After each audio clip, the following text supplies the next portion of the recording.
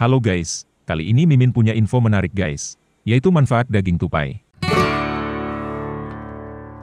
Tupai merupakan hewan yang cukup cerdik dan ia memiliki ukuran otak yang cukup besar. Kepintaran dari hewan tupai ini terbukti bahwa ia dapat memilih makanan seperti apa yang harus ia kumpulkan di saat musim dingin.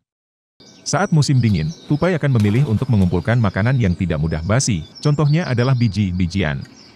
Ia dapat mencari mangsa, bertahan hidup, mencari pasangan, dan membuat sarang dengan sangat rapi.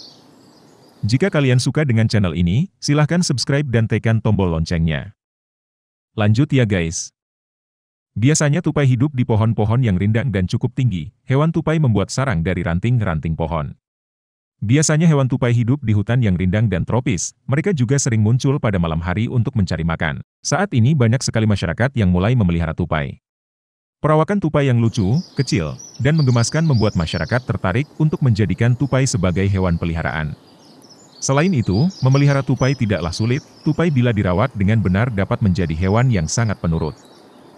Semakin berkembangnya dunia kesehatan ternyata tupai bukan hanya berguna sebagai hewan peliharaan, hewan tupai ternyata juga dapat menjadi obat untuk penyakit tertentu.